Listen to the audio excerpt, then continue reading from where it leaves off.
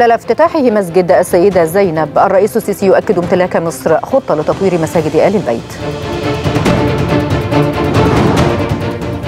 مدبولي يؤكد قدرة مصر على مواجهة التحديات ويشدد على أن القطاع الخاص من أعمدة النمو الاقتصادي. شهداء ومصابون في قصف للاحتلال على غزة والأمم المتحدة تدعو لوقف فوري لإطلاق النار.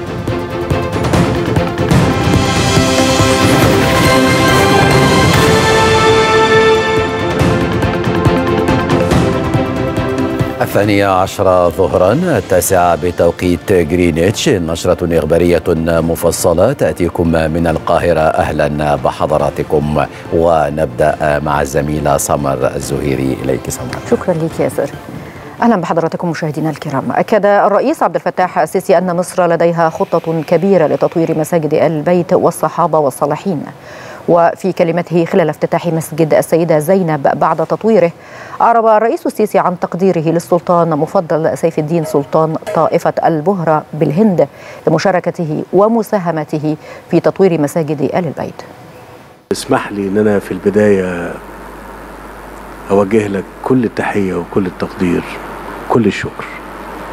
ده يمكن آه، ثالث آه، مناسبة خلال فترة قليلة جدا بفضل الله سبحانه وتعالى نفتتح تطوير آه، الأضرحة سابقا كان ضريح آه، الإمام الحسين ثم السيدة نفيسة ثم السيدة زينب.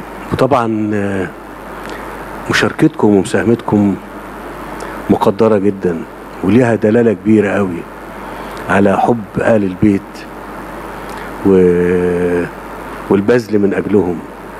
وإحنا من جانبنا في مصر هنا آه، عندنا خطة كبيرة قوي لتطوير آه، المساجد و يعني بتاعت آل البيت وأيضا اللي كانت آه، للصحابة اللي جم على مصر وال والصالحين ويمكن ال لسه كان بيبقى في عرض من من أيام قليلة عن اللي بيتم في مسجد الرفاعي ومسجد السلطان حسن والمواردي ومساجد أخرى كثيرا اللي هي من أول من أول القلعة فوق أو من أول السيدة نفيسة لغاية ما نصل إلى السيدة زينب إن شاء الله. وأضاف الرئيس السيسي أن آل البيت وجدوا في مصر الأمن والأمان الذي كان كانوا ينشدونه مضيفا أن آل البيت عندما بحثوا عن مكان للاستقرار فيه والاحتماء به كانت وجهتهم مصر. ربنا سبحانه وتعالى أكرم مصر بأن يكون يعني آل بيت النبي عليه الصلاة والسلام عندما يعني يبحثون عن أمان وعن مكان يستقروا فيه في حماية وفي حفظ وفي استقبال يليق بهم. كانت وجهتهم مصر ووجدوا في مصر فعلا الأمن والأمان اللي هم كانوا بينشدوه وده من فضل ربنا علينا إن إحنا النهارده في مقام السيدة زينب حفيدة رسول الله صلى الله عليه وسلم. فده من فضل ربنا علينا و... والحمد لله. مرة تانية أنا بشكرك وببقى سعيد قوي لما بستقبل جلالة السلطان والوفد المرافق ليه. وفي كل مصر في كل مرة تشرفونا هيسعدنا إن أنا آه، ألتقي بيكم وأشكركم على اللي بتعملوه. وكل الدعم هيبقى موجود لإنجاح آه، أي مشاريع أخرى في هذا المجال يعني. كان الرئيس عبد الفتاح السيسي قد افتتح مسجد السيدة زينب بعد الانتهاء من عملية تطويره وترميمه وذلك بحضور السلطان مفضل سيف الدين سلطان طائفة البهرة بالهند. وقام الرئيس السيسي عقب وصوله بأداء ركعتي تحية المسجد. حضر الافتتاح أيضا الأمراء من أشقاء وأنجال سلطان طائفة البهرة وممثل السلطان بالقاهرة. هذا ويأتي تطوير مسجد السيدة زينب ضمن خطة لتطوير وتجديد مساجد آل البيت. وشهد مسجد السيدة زينب في عهد الرئيس السيسي توسعة ساحة المسجد ثم تطويره على هذه الصورة التي تليق ببيوت الله.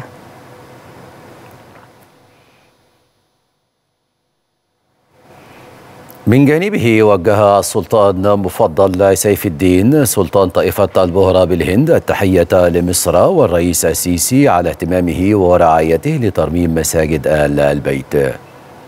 أشكر جمهورية مصر العربیت مع رئیس العزیز حکومت الرشیدہ وشاہب الکریم علا ان اجازت لی بنا حاض ذریح من الجدید الزی نصبہ اللہ حاض المقام من جہت والدی دکتور سید محمد برحان الدین۔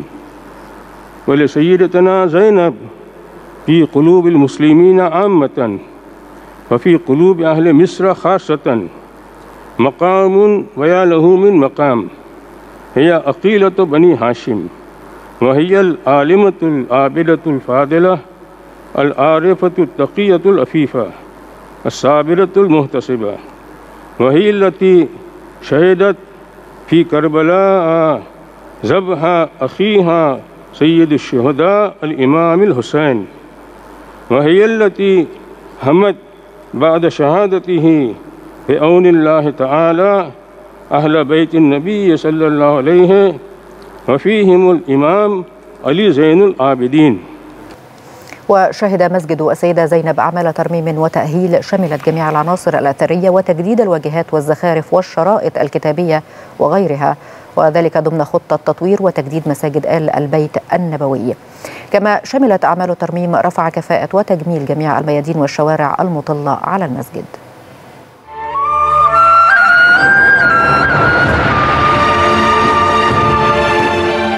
أعمال ترميم وتأهيل ورفع كفاءة ضخمة بجهود مصرية خالصة بتوجيهات من القيادة السياسية.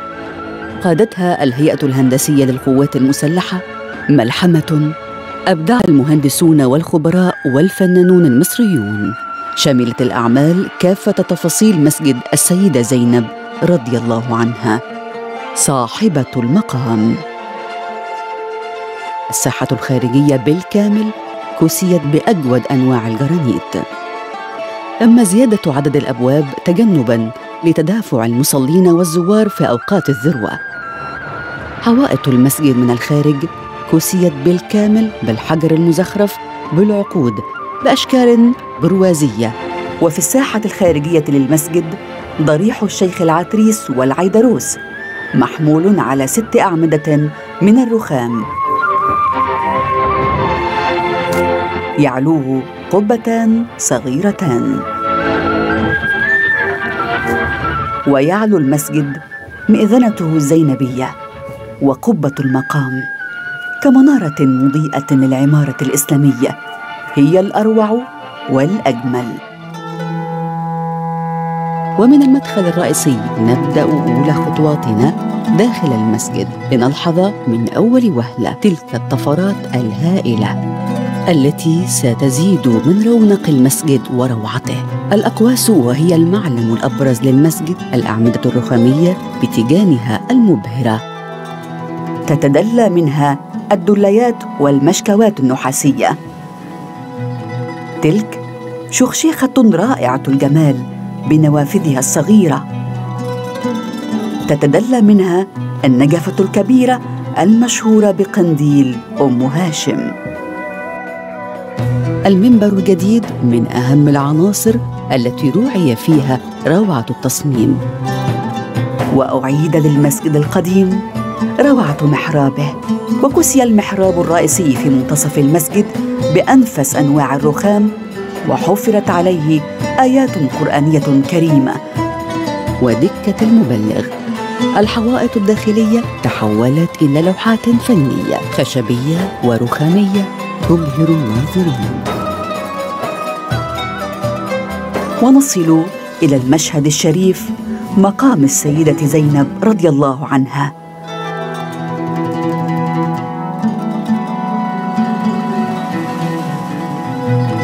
حيث مدخل الضريح الذي تعلوه عتبة مزخرفة ومذهبة. وقد تم تجديد وتذهيب المقام بأنفس الأحجار الكريمة والنفيسة.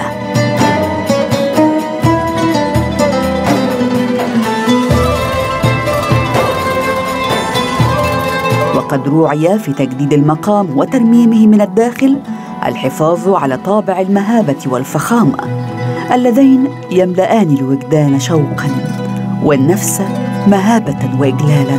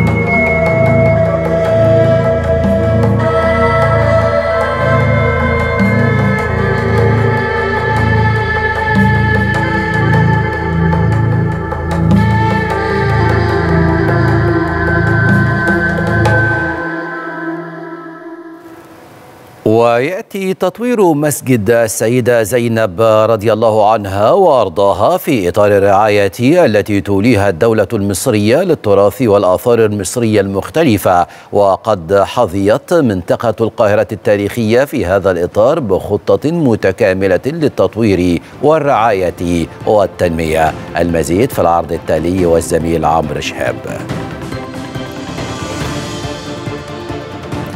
أهلا بكم. جهود مستمرة من الدولة لتطوير القاهرة التاريخية للحفاظ على القيمة التراثية الأصيلة لها مع تيسير حياة المواطنين بما يضمن حقهم في بيئة نظيفة خالية من التلوث فضلا عن ربط المزارات الأثرية والسياحية في إطار خطط تعزيز السياحة المحلية والأجنبية.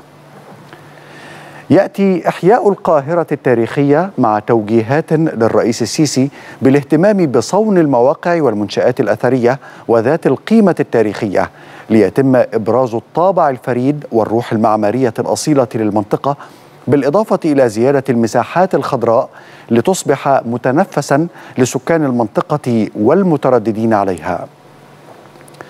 كما يؤكد إحياء القاهرة التاريخية ما توليه الدولة من اهتمام كبير للمحافظة على الحضارة المصرية العريقة عبر إحياء المباني الأثرية وإعادة هيكلة المنطقة لتتحول إلى مزار سياحي مفتوح مع متابعة دورية لمختلف المشروعات الجاري تنفيذها. وذلك في إطار خطة الدولة لإعادة الوجه الحضاري للقاهرة ورونقها التاريخي العريق. يعتمد مشروع إحياء القاهرة التاريخية على عدد من المحاور منها الحفاظ على المباني الأثرية من خلال الترميم وكذا العمل على إحياء النسيج العمراني التاريخي للمناطق مع إجراء حصر للأنشطة غير الملائمة لطبيعة المنطقة التاريخية وتخصيص أماكن بديلة لها. وضمن إحياء القاهرة التاريخية تأتي جهود ترميم مساجد وأضرحة آل البيت لما لها من مكانة في قلوب المصريين ومنها مساجد سيدنا الحسين والسيدة نفيسة والسيدة زينب حيث كان هناك تقدير رئاسي كبير لتطوير تلك المساجد والأضرحة مع توجيهات رئاسية بأن يتم تطوير هذه الأضرحة بشكل متكامل وعلى نحو يتناغم مع الطابع التاريخي والروحاني للأضرحة والمقامات. كما شمل إحياء القاهرة التاريخية تطويرا كبيرا للحفاظ على هوية المكان للأجيال القادمة إذ نجحت أجهزة الدولة في القضاء على المناطق غير الآمنة بإنشاء تجمعات سكنية حضارية مكتملة الخدمات من أجل توفير حياة كريمة لقاطنيها. مشاهدينا كان هذا عرضا موجزا حول جهود الدولة لتطوير القاهرة التاريخية ومساجد وأضرحة آل البيت كجزء أصيل من خطة الدولة للحفاظ على المناطق التاريخية والمباني العريقة وإعادة إحيائها. شكرا لحضراتكم على طيب المتابعة.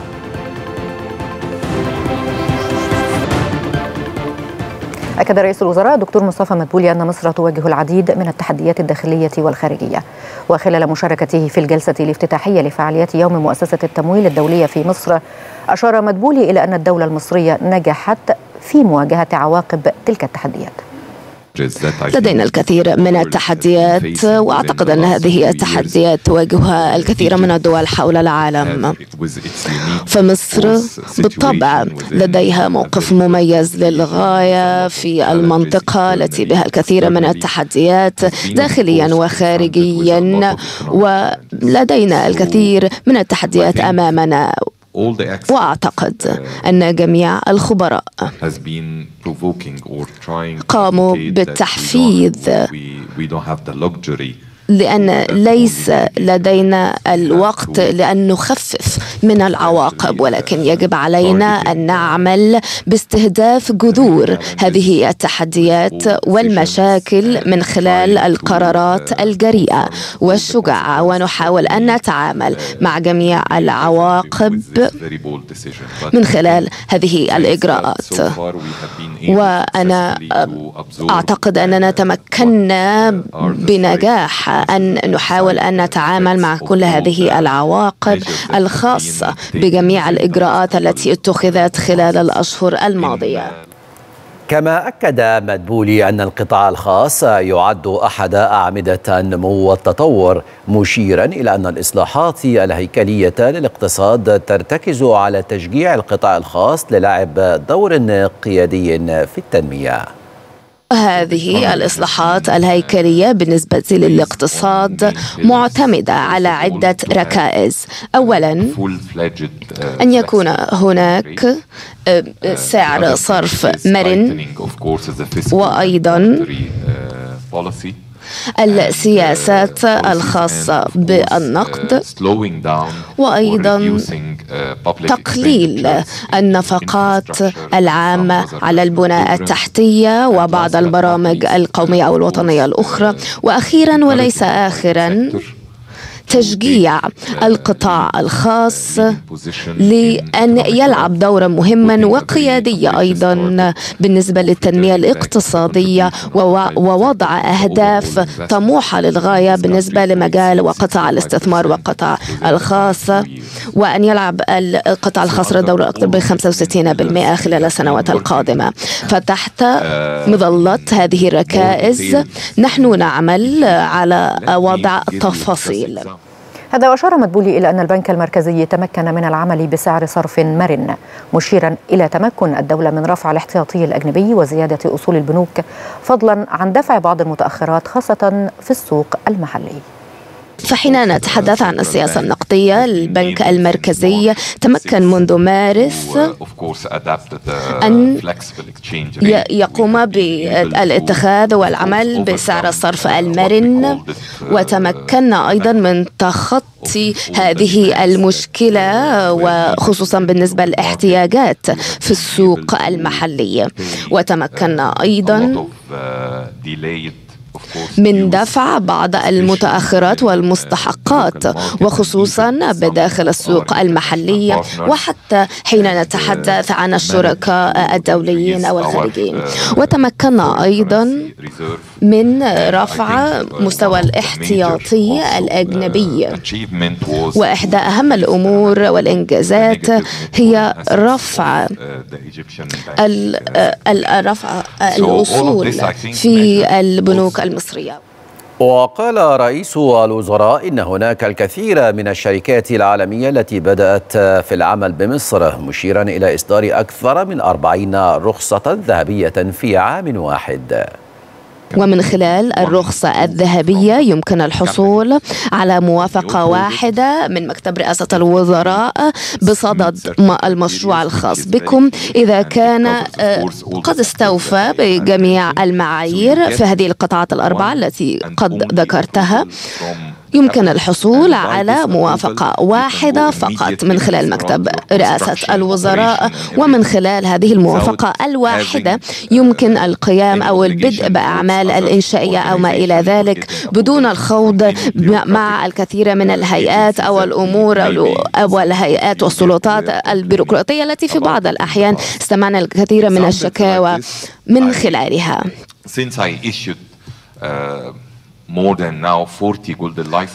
ونحن قمنا بإصدار أكثر من 40 رخصة ذهبية وفي أقل من عام واحد كانت هذه الشركات بالفعل تقوم بالتشغيل والعمل والإنشاء في شركات كبرى.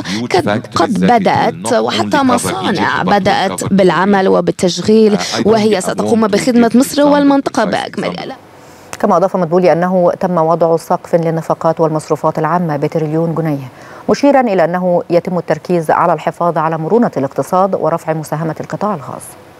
نحن نرى الكثير من التقدم والعمل من أجل أهدافنا. خلال العامين أو ثلاثة أعمال أعوام القادمة لحصول القطاع الخاص على 65% من إسهام في هذه القطاعات. وأيضا وضعنا سقف للنفقات المصروفات العامة بجميع أنواعها. وكانت من خلال قرار لرئاسة الوزراء لتريليون جنيه مصري لأن تنفق كسقف للنفقات من خلال جميع الوزارات والهيئات والسلطات وهذا سيكون هو الحد الأقصى لهذه النفقات. والبقية ستكون من خلال القطاع الخاص.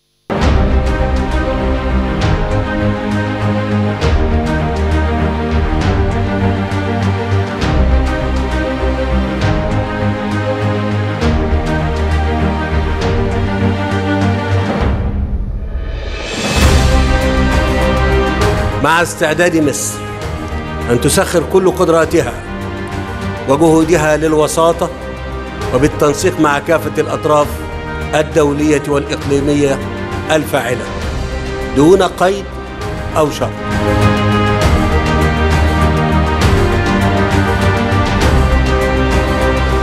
وهو ما يستوجب تسهيل وصول المساعدات الإنسانية لأبناء الشعب الفلسطيني. بشكل عاجل.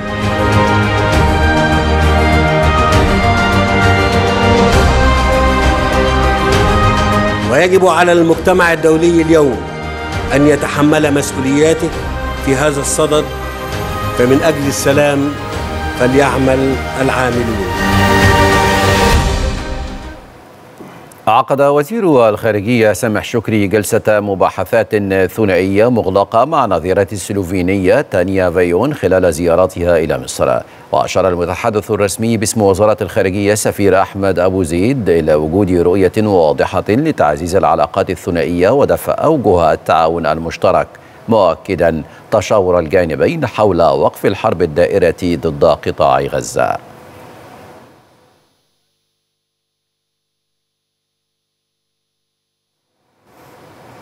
مسارات عديدة سياسية وإنسانية تتخذها مصر لدعم الشعب الفلسطيني.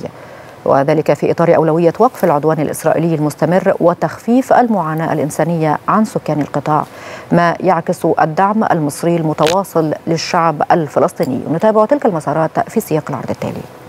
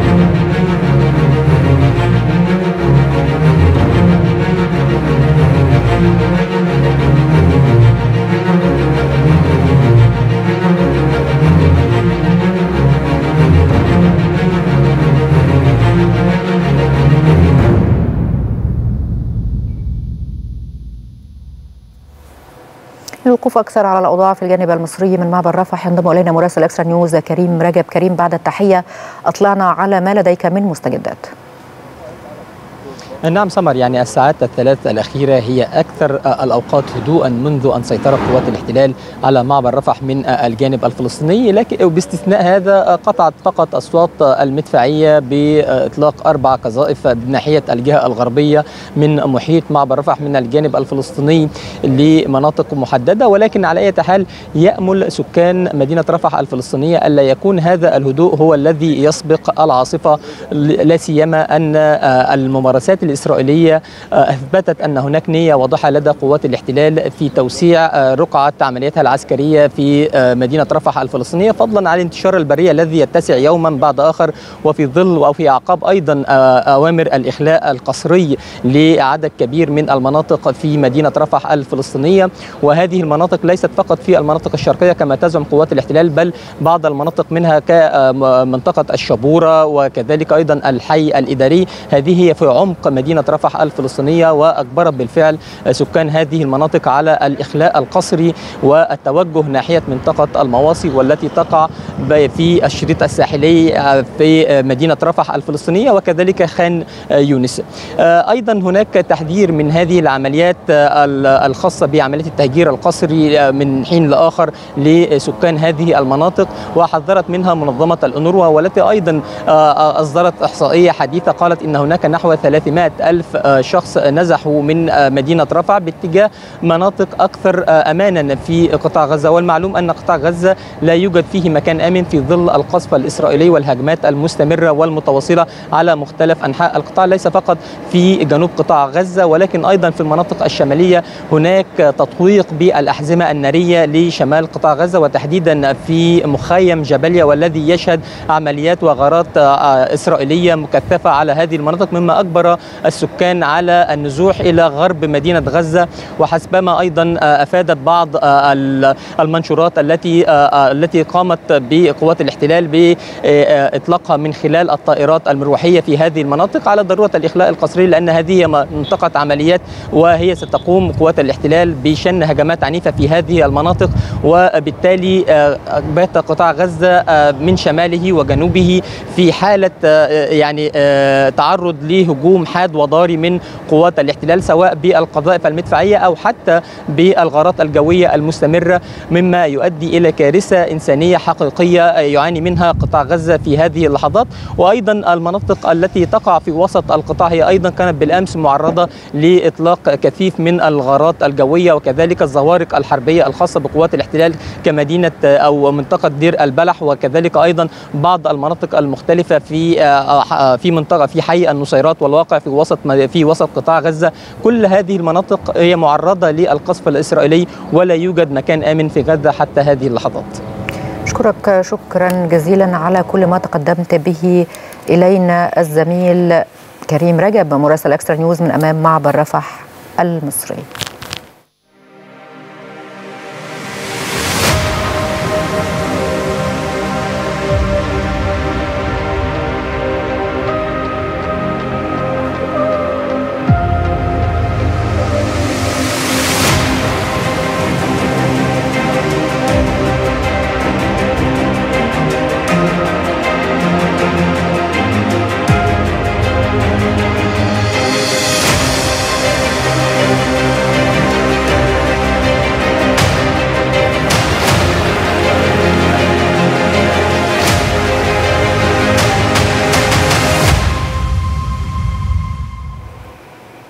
استشهد عدد من الفلسطينيين وأصيب آخرون بعد استهداف طيران الاحتلال مناطق متفرقة من قطاع غزة وأعلنت مصادر طبية عن وصول شهيدين وخمسة جرحى إلى مستشفى المعمداني في مدينة غزة بعد إطلاق نار كثيف من الطيران الحربي الإسرائيلي على الأطراف الجنوبية في حي الزيتون جنوب شرقي المدينة.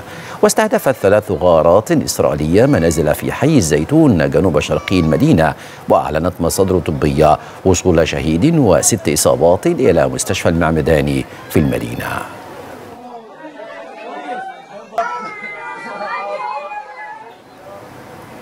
إلى ذلك جدد الأمين العام للأمم المتحدة أنطونيو غوتيريش دعوته إلى وقف فوري لإطلاق النار في قطاع غزة لأسباب إنسانية مشيرا إلى أن تلك الخطوة ستكون بداية طريق العودة من الدمار والصدمة التي خلفتها الحرب كما دعا إلى زيادة المساعدات الإنسانية إلى غزة.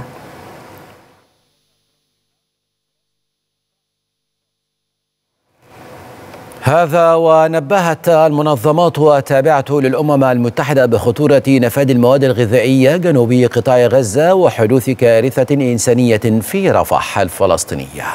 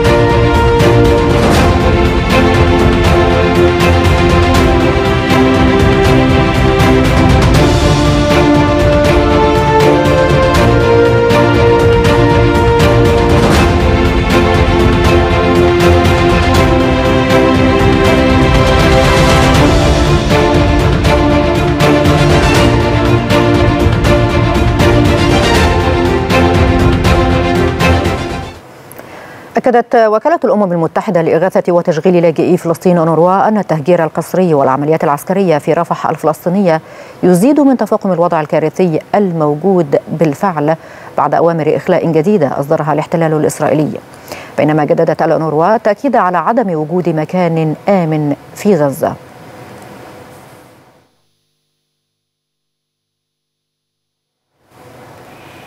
حذر الأطباء في مدينة رفح على الجانب الفلسطيني من تدهور الوضع الصحي وتحديدا بعد أوامر جيش الاحتلال لإخلاء المستشفيات بما يخالف القوانين الدولية والإنسانية داعين إلى توفير الحماية الدولية في ظل العمليات العسكرية الإسرائيلية. الآن مستشفى الكويت التخصصي أصبح ضمن المنطقة المهددة بالإخلاء للأسف. العدو الصهيوني يتغول على كل القوانين الدولية والأعراف الإنسانية. ليس هناك مكان للمرضى والمصابين ليلجأوا إليه إلا هذا المستشفى. نحن اليوم من وسط القصف والدمار. نطالب من مستشفى الكويت التخصصي بتوفير حماية دولية من الصليب الأحمر ومنظمة الصحة العالمية لهذا المستشفى. هذا المستشفى هو المستشفى الوحيد هو الملاذ الوحيد للمرضى والمصابين للجوء إليه. لا يوجد مكان آخر للجوء إليه. يوجد في هذا المستشفى عدد كبير من الطواقم الطبية. يوجد في هذا المستشفى عدد من الوفود الطبية الماليزية والأندونيسية. نحن نطالب الآن وبشكل فوري بتوفير حماية دولية لهذا المستشفى. لا مكان آخر للمرضى والمصابين للجوء إليه. يجب أن يقف الجميع عند مسؤولياته. هذا فيما تتوالى التحذيرات الدولية من تفاقم الوضع الإنساني في غزة في ظل منع الاحتلال دخول المساعدات وإجباره سكان القطاع على النزوح لمناطق تفتقر للبنية التحتية أو الإمكانية على استقبال المزيد في آه هذا العرض والزميل عمرو شهاب. أهلا بكم. تتوالى التحذيرات الدولية من تفاقم الوضع الإنساني في غزة في ظل منع الاحتلال دخول المساعدات وإجباره سكان القطاع على النزوح لمناطق تفتقر للبنية التحتية أو الإمكانية على استقبالهم. وفي ظل معاناة الكثير من سكان غزة من مستويات كارثية من الجوع فإن تقليل حجم المساعدات سيؤدي إلى كارثة كبيرة خاصة في ظل غياب الوقود الذي بدأ بالنفاد بالفعل بشكل خطير وفقا لمكتب الأمم المتحدة لتنسيق الشؤون الإنسانية. كما حذرت وكالتا إغاثة تابعتان للأمم المتحدة من أن تناقص مخزونات الغذاء والوقود قد يؤدي لتوقف جهود الإغاثة في غضون أيام مع استمرار إغلاق المعابر الحيوية بما سيجبر مستشفيات على الإغلاق ويؤدي إلى تفاقم سوء التغذية. من جانبه قال مكتب الأمم المتحدة لتنسيق الشؤون الإنسانية في غزة إن المعابر المغلقة منعت تنقل الأفراد ومن بينهم عمال الإغاثة وعمليات الإجلاء الطبي في حين أدى نقص الغذاء إلى ارتفاع الأسعار.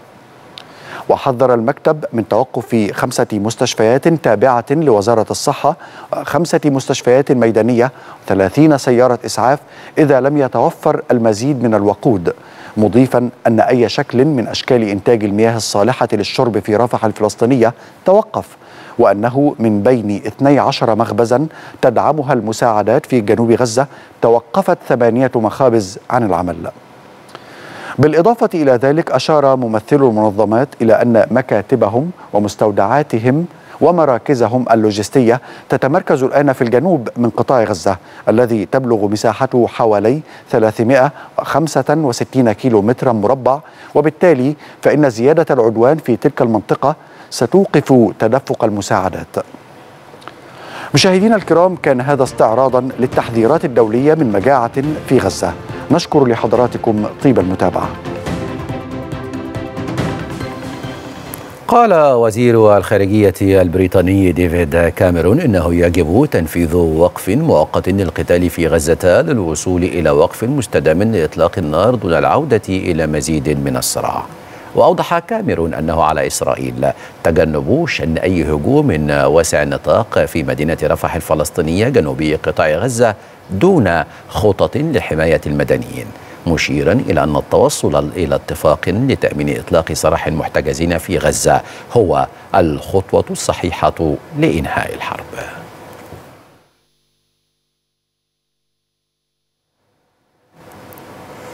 أكد وزير الخارجية الإسباني أن إجلاء الآلاف من الفلسطينيين أمر غير مقبول داعيا إلى الامتثال للقانون الإنساني الدولي وحماية المدنيين وإيصال المساعدات الإنسانية. هذا وشدد وزير الخارجية الإسباني على ضرورة توقف العملية العسكرية الإسرائيلية في رفح الفلسطينية لتجنب حدوث أزمة إنسانية أكثر خطورة.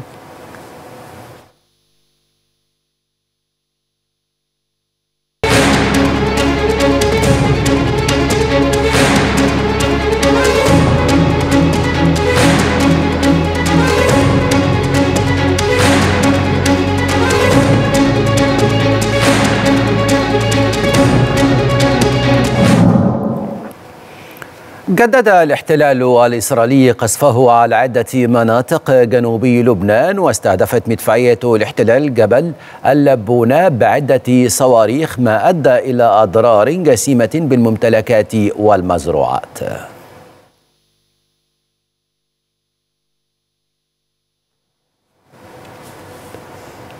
أعلنت القيادة المركزية الأمريكية تدمير ثلاث طائرات دون طيار أطلقها الحوثيون فوق البحر الأحمر.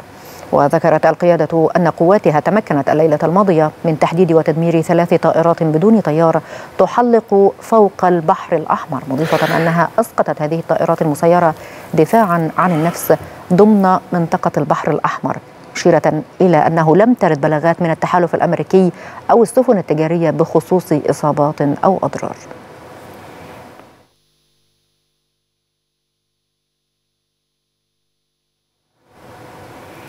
تستضيف العاصمة البحرينية المنامة اجتماعات المجلس الاقتصادي والاجتماعي العربي على المستوى الوزاري تحضيرا للقمة العربية. وتناقش الاجتماعات تقرير الأمين العام الأمين العام عن العمل الاقتصادي والاجتماعي التنموي العربي المشترك وخطة الاستجابة الطارئة للتعامل مع التداعيات الاقتصادية والاجتماعية الناتجة عن العدوان الإسرائيلي على دولة فلسطين. كما يتم بحث التقدم المحرز في استكمال متطلبات منطقة التجارة الحرة العربية الكبرى وإقامة الاتحاد الجمركي العربي.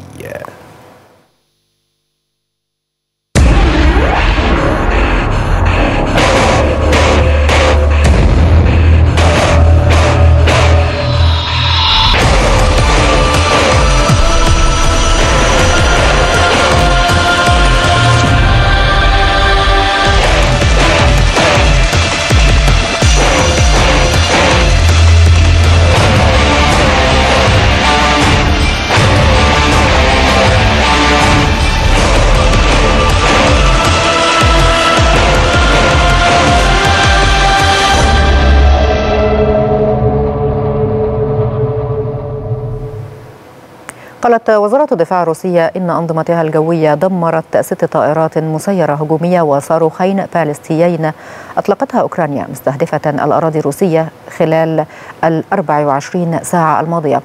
كما أوضحت الدفاع الروسية أنه تم إسقاط خمس طائرات مسيرة فوق مناطق بريانسك ولبتسك في حين تم اعتراض واحدة فوق فولغوغراد بجنوب روسيا. من جانبها أعلنت سلطات فولغوغراد اندلاع حريق في مصفاة للنفط إثر سقوط المسيرة الأوكرانية على موقع منشأة تكرير النفط في المدينة مؤكدة إخماده وعدم تسجيل ضحايا.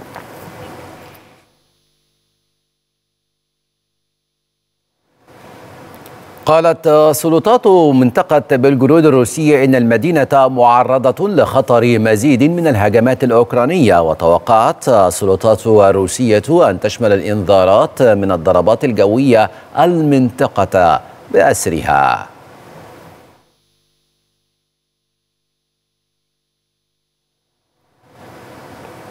قالت مصادر محلية إنه تم إجلاء أكثر من أربعة ألاف شخص من المناطق الحدودية في منطقة خاركييف بشمال شرق أوكرانيا وذلك في أعقاب هجوم روسي مفاجئ عبر الحدود بدأ يوم الجمعة. تأتي عملية الإخلاء بعد يوم من إعلان القوات الروسية سيطرتها على خمس قرى في المنطقة.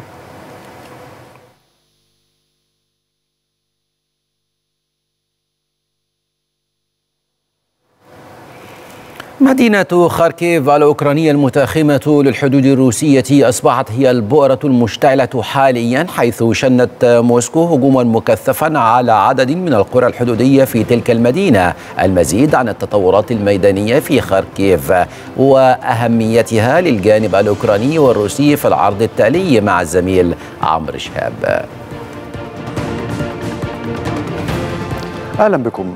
جبهة قتالية جديدة أحرزت فيها روسيا تقدما مفاجئا على حساب القوات الأوكرانية التي تشهد بالفعل منذ عدة أشهر تراجعا كبيرا سواء من جانب التقدم الميداني أو من جانب مخزونات الأسلحة والذخيرة.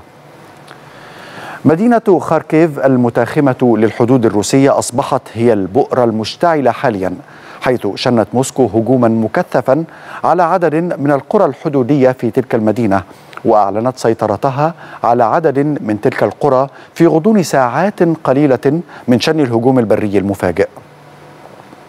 وفي ظل نقص كبير في الأسلحة والجنود حاول الجيش الأوكراني حشد كل ما تيسر من قواته لإنقاذ المدينة الواقعة شمال شرقي البلاد من السقوط في قبضة القوات الروسية.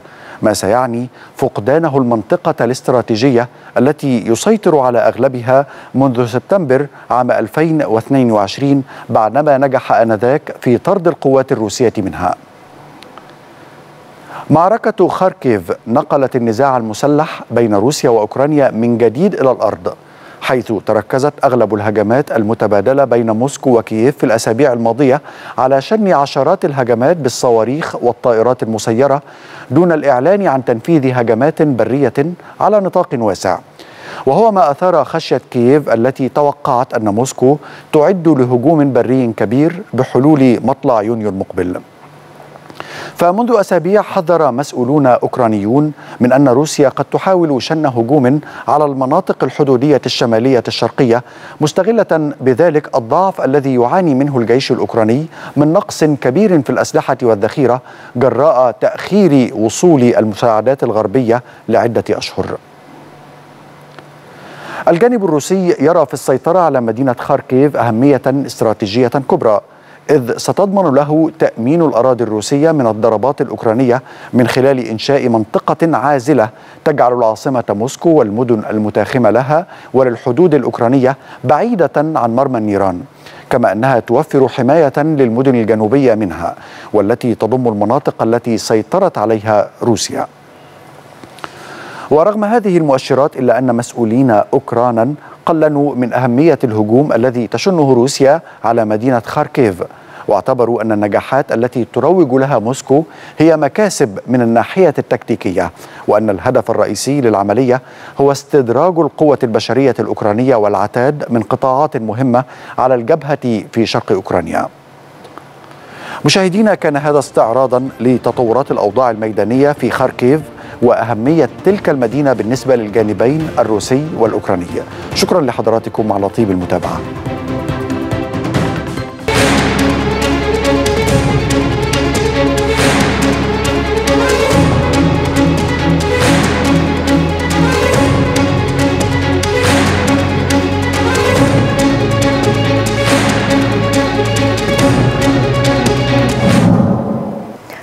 نظم الرئيس الأمريكي السابق دونالد ترامب مسيرة حاشدة في مدينة وايلد وود بولاية نيوجيرسي والتي تعد من معاقل الديمقراطيين في البلاد. ووفقا لوسائل الإعلام المحلية فقد شارك في المسيرة نحو 100 ألف شخص. ونفى ترامب أن تكون المرشحة الرئاسية السابقة للحزب الجمهوري نيكي هيلي مرشحة لمنصب الرئيس إلى جواره في انتخابات الخامس من نوفمبر المقبل.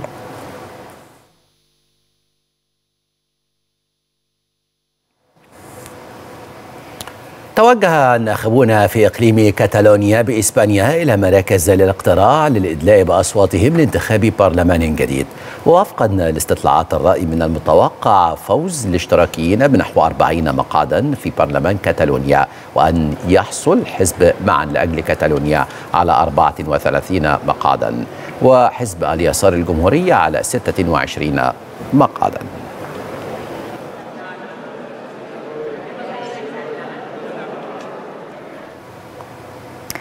ارتفع العدد الرسمي للقتلى جراء الفيضانات المدمرة في شمال أفغانستان إلى 315 شخصا في ثلاثة أقاليم.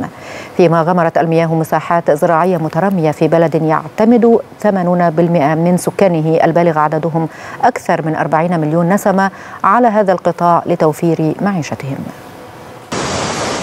أضرار جسيمة سببتها الفيضانات المفاجئة التي ضربت أفغانستان جراء الأمطار الغزيرة التي شهدتها البلاد ما أسفر عن خسائر فادحة في الأرواح وأضرار جسيمة في الممتلكات.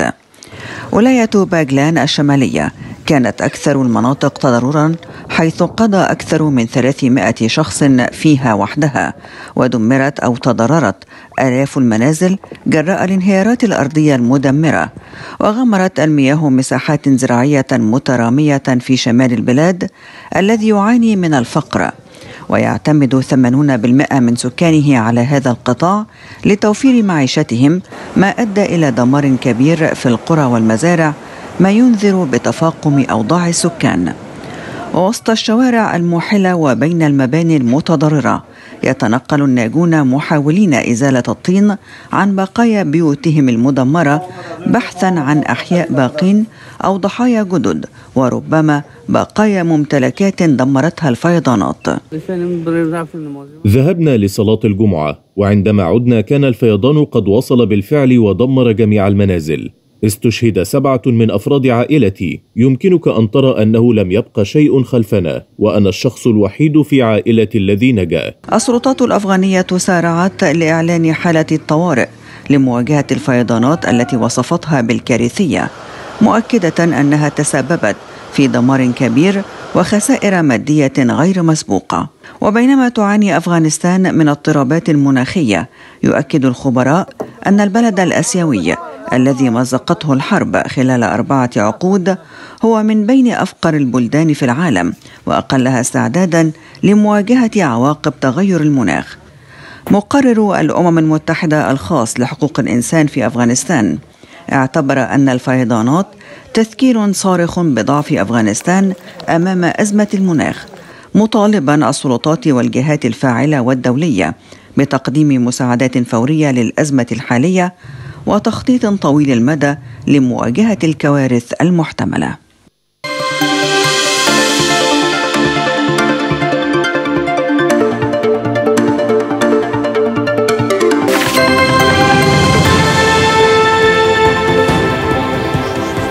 قام وزير الإسكان والتخطيط العمراني بسلطنة عمان خلفان بن سعيد الشعيلي بجولة في مدينة العالمين الجديدة وذلك ضمن جولات الوفد العماني الذي يزور مصر حاليا لبحث سبل تعزيز التعاون المشترك مع وزارة الإسكان المصرية والاطلاع على التجربة العمرانية المصرية.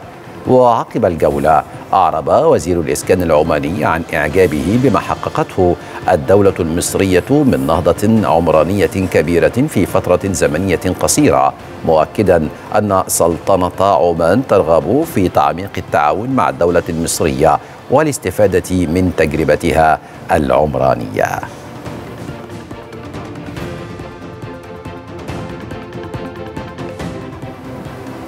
بلغ عدد الحجوزات المبدئية للوحدات السكنية المطروحة بالمرحلة العاشرة بمشروع بيت الوطن للمصريين بالخارج. بلغ 15800 حجز مبدئي خلال ثلاثة أيام فقط.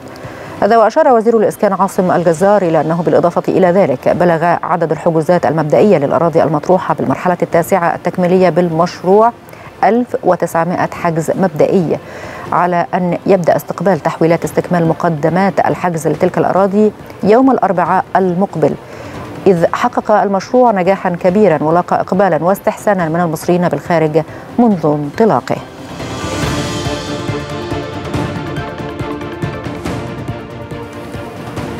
وصلنا بحضراتكم إلى ختام نشرة الأخبار وإليكم أهم ما جاء فيها من أنباء.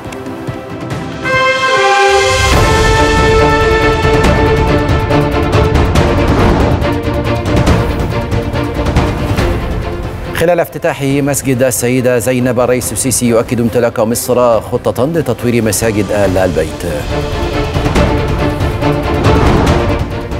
مدبولي يؤكد قدرة مصر على مواجهة التحديات ويشدد على أن القطاع الخاص من أعمدة النمو الاقتصادي. وشهداء ومصابون في قصف للاحتلال على غزة والأمم المتحدة تدعو لوقف فوري لإطلاق النار. لمزيد من الأخبار مشاهدينا الكرام يمكنكم دوما تحميل تطبيق Extra News من خلال App Store أو Google Play أو من خلال ال QR code الظاهر أمام حضراتكم على الشاشه نشكر لكم طيب المتابعة. تقبلوا تحياتي ياسر عبد الستار وسمر الزهيري. إلى اللقاء.